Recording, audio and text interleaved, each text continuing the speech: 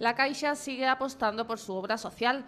El último ejemplo es este convenio suscrito con la Consejería de Asuntos Sociales, en el que también colabora Cruz Roja y más de 50 entidades y asociaciones. Y donde toda la comunidad educativa, todas las comunidades eh, de asociaciones de vecinos, todas están implicadas y cada una quieren de ellas quieren participar en este proyecto. La idea es sencilla. Este sábado se llevarán a cabo una serie de actividades en la Plaza de los Grupos Bermudo Soriano, con los niños como principales protagonistas. Va a ser la apertura de, los niños una obra teatral que han, preparado y ahí a partir de ahí iniciaremos con estos juegos populares y actividades deportivas y, de circo. El programa de intervención comunitaria se realiza en 40 lugares en España y hecho andar hace ahora cinco años, centrándose en tres ámbitos, el socioeducativo, el comunitario y el ciudadano.